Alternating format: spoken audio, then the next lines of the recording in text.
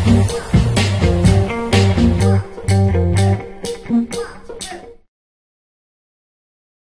everybody, my name is Lonnie Bowling and today I'm going to start a new video series on how to get started using the Pi SDKs.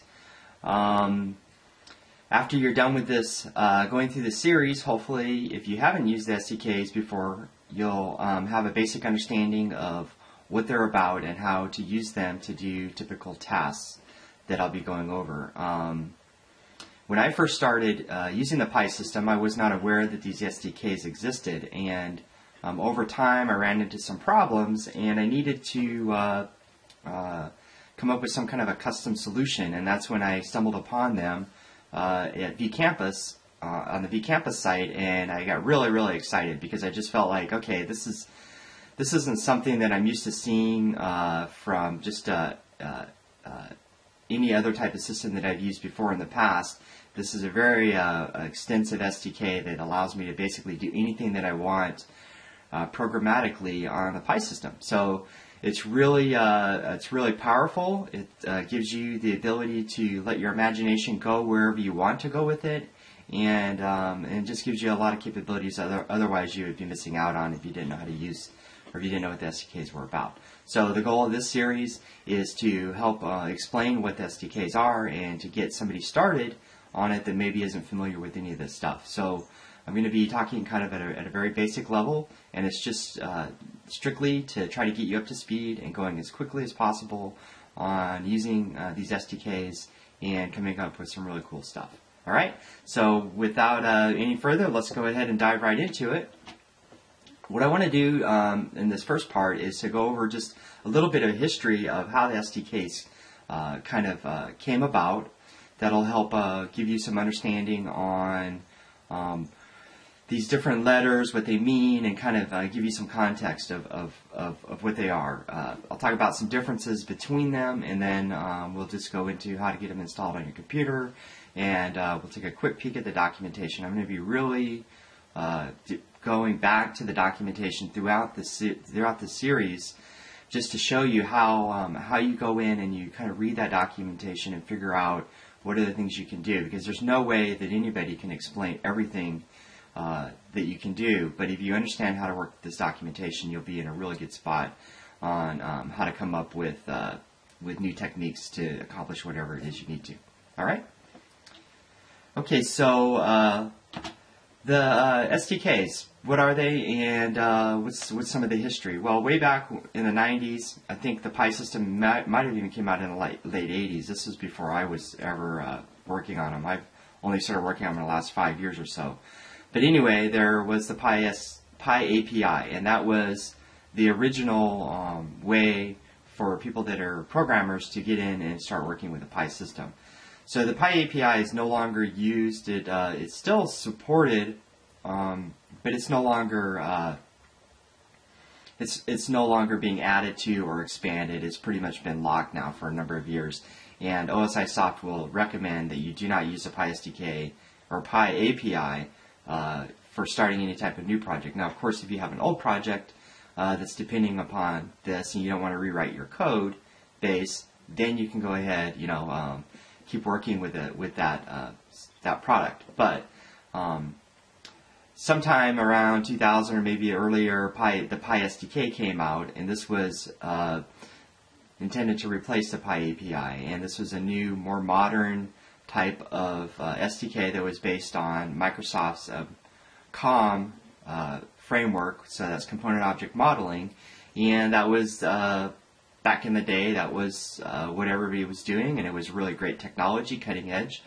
Um, but eventually, even even uh, um, the Pi SDK has become antiquated at this point, and uh, probably about four years ago, um, or five years ago now, maybe six, the um, Asset Framework came out, which is part of uh, which was a big uh, a big uh, addition to the Pi product, uh, the core core product offering that OSIsoft has. So there was a Pi system that was just that's just about storing archived data. And then uh, Asset Framework came out, also known as AF, and that gave us the ability to give some structure to this data. Um, when AF came out, um, there was uh, a um, SDK that was also released, and that uh, SDK was intended to work with the AF part of it. So there was a Pi SDK and AF SDK side by side. And then I, uh, if you see in this graphic, I also have the um, uh, AN SDK, and that's for uh, notifications. Um, the notifications SDK, when uh, when when Pi Notifications came out about three or four years ago, they also released an SDK. So there were these three SDKs that had been around now for several years. Um, last year, the last release of the AF SDK took everything that the Pi SDK can do and integrated it into it to give us one single SDK that we can work with when we're dealing with the Pi system, either be it the um, the Pi historical uh, um, data, data historian or the um, asset framework uh, part.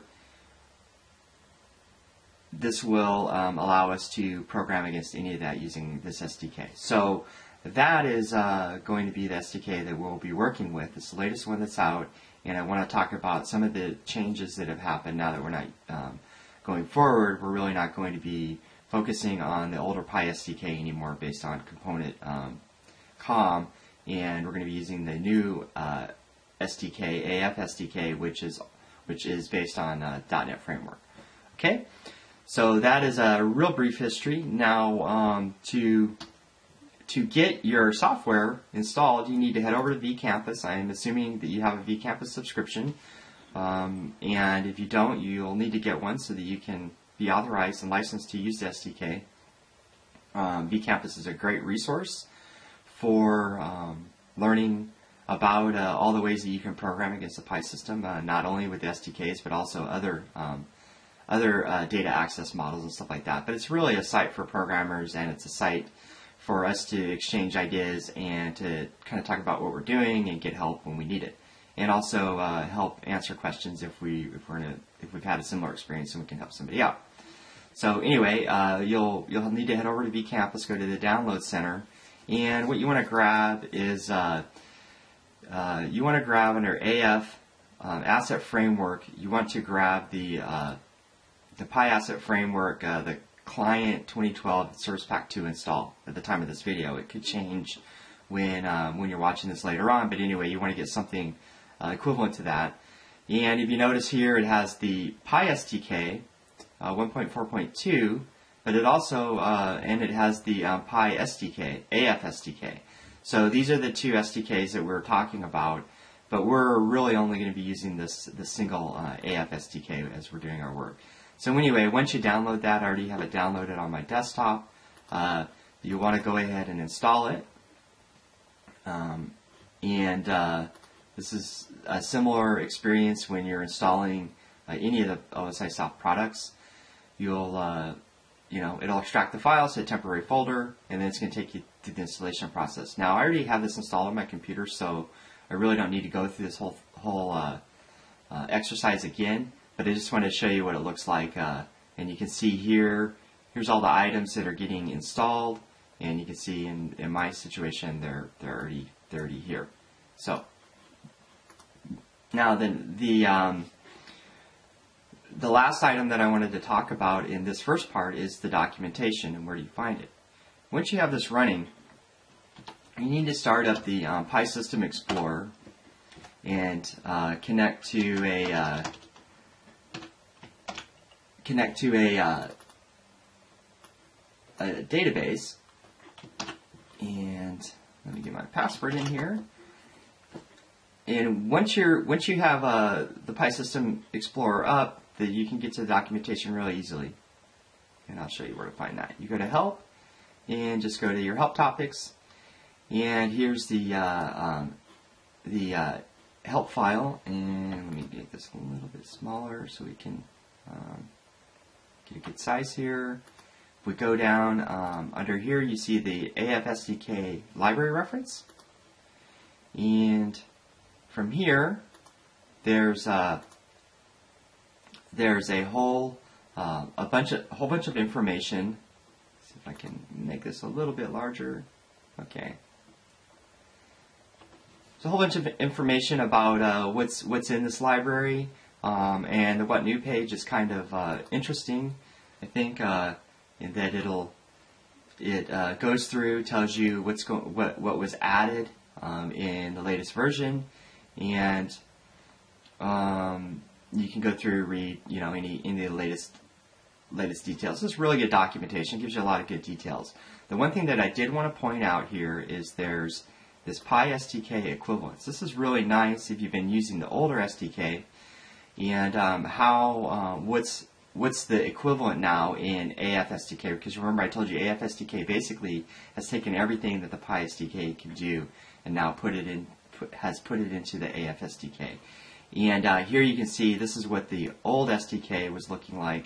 Uh, these are the things that you are using and now this is what the new AF SDK is is using. And there's uh, there's uh, uh, it, it, tells you a lot of uh, great information about um, you know how do, how do you work with these items? And you know what are the what are the equivalents now? So we'll be we'll be going into um, going into what all this is about and uh, you know how how we can use it as we're kind of navigating around and trying to figure out how to how to take advantage of all the stuff this SDK can offer okay so We've talked about our documentation. We've talked a little bit about the history of uh, what the SDKs are about, and we're really going to focus on the AF SDK, which is going to be now the whole system we can program against, which is really, really awesome. And uh, the next part, I'm going to uh, dive into doing some programming. So hopefully you'll stick with us, stick with me. I'm going to talk about getting some connections set up, and we'll start uh, accessing the data. So stay tuned. Um, I'm Lonnie Bowling, and thanks for watching. I'll talk to you later. Bye bye.